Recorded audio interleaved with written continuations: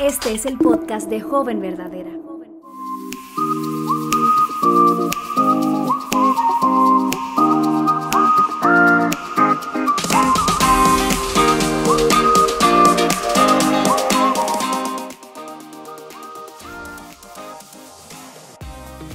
I think what I really want to warn any young person, if I could warn myself back then, is to not, first of all, to not believe the lies.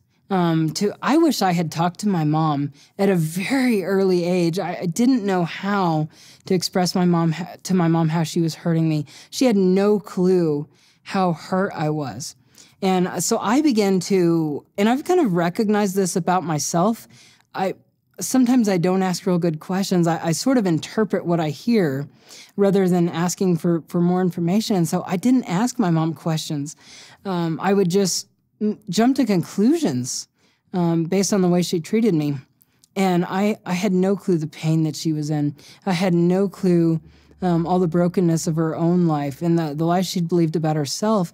And so, um, looking back on it, if I could help that little girl to to ask questions and to to try to work on that relationship rather than shutting down and stuffing all my emotions. Because then for years it put me on a trajectory. Like if if we believe a lie it may be a little lie at first and it's just a degree or two off but by the time years out you're way off from the target. And i think we don't realize how far those lies can take us. Um, so we really need to believe god's word is true um, and I think one of the most important ways that we can learn that God's word is true is ways He's already been faithful to us in the past. God doesn't reveal everything to us at once, and we have to take those um, steps of faith. But there's ways that God has already shown Himself to you. And really there, there's a verse one of um, if you look on like the top bible verses almost all of them will list proverbs 3 5 through 6 which says trust in the lord with all your heart and lean not on your own understanding. In all your ways acknowledge him and he will direct your path. But i think most of us don't live like that. Most of us lean on our own understanding. Most of us um, interpret the word through what we feel rather than believing that God's way really is good, that He really does understand the way He created us, the way He desire, uh, the way He designed us and wired us. So I think that's the most important thing um, is to really um, learn to trust God and also to tell people how you've been hurt.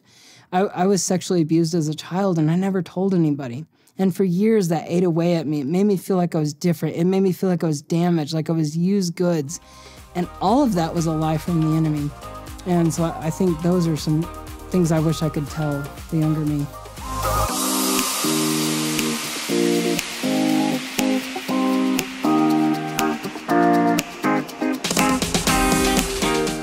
I think one of the most important things uh, for uh, anyone who has a friend who's struggling with gender confusion um, is to first of all understand that that God really did not create you that way.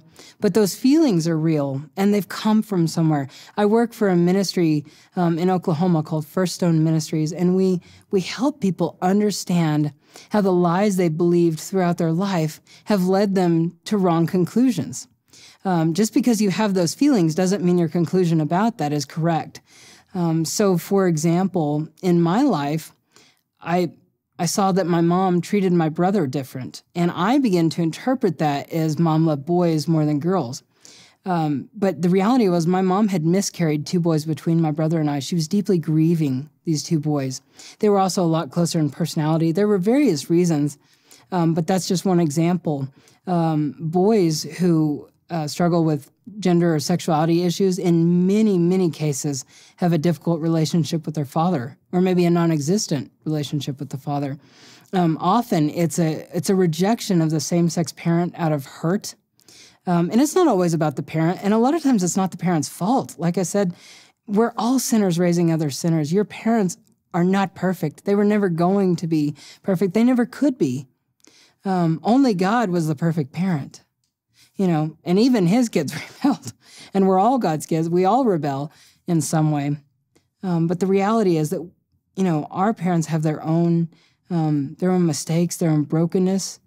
Um, but for those that are struggling, there are probably things that have happened in your life. Maybe you often we look at other people, um, like if if we're more um, you know, we, we feel like we're not the girly girl, we're not the the cheerleader or the popular girl or whatever. We look at this group of girls and we think, well, I'll never be like them. And so you begin to um, identify more with the opposite.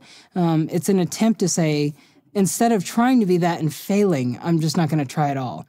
And so I, there may there's lots of other things, but basically, ask your friend a lot of questions. Pray first of all. Prayer is the most important thing because this really is a work of the Holy Spirit. There's nothing you can do to change that person's life, but God can, and you can be someone that God can use to do that. So ask a lot of questions, um, pray, and ask God to lead you because this is an individual journey for every person. There, there, I can't give you a script that, that would say this will lead that person out of that deception but but God knows what they need to hear. So ask the Lord, what do I need to say to my friend? And I, I think above all, that's the most important thing.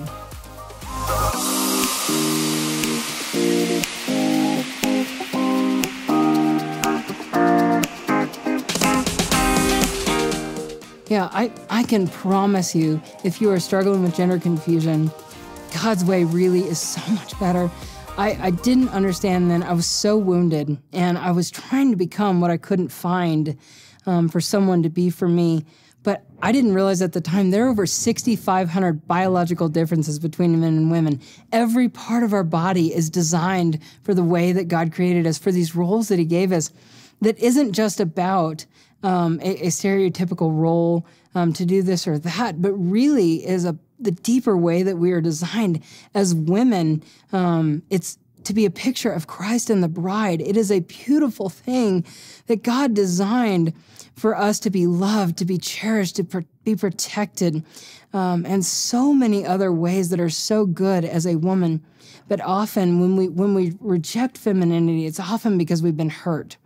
But if if we will allow the Lord to heal us and bring that redemption and that restoration, you will find so much satisfaction in the way that He has delivered you. I for I thought I could never love being a woman, but now I absolutely love being a woman.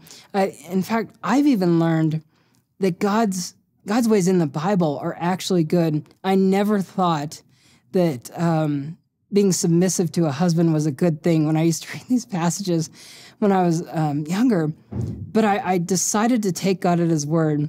And so when Perry and I were dating, uh, we were in the car one day, and you know I was just kind of looking out the windshield, so I wasn't looking at him directly the whole time. And I started talking about my ideas on this, and I said, you know, I really um, believe in biblical womanhood, and I'm willing to submit to you as a wife.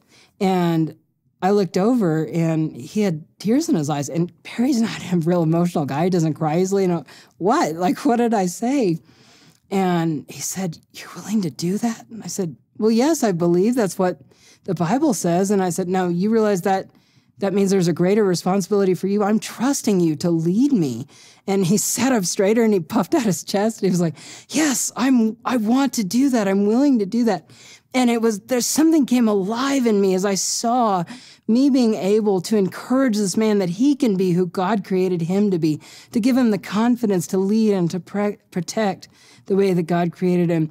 And it, it all of a sudden became this beautiful, um, complementary relationship as we were in God's design at that moment in the way that to relate to each other the way that God created.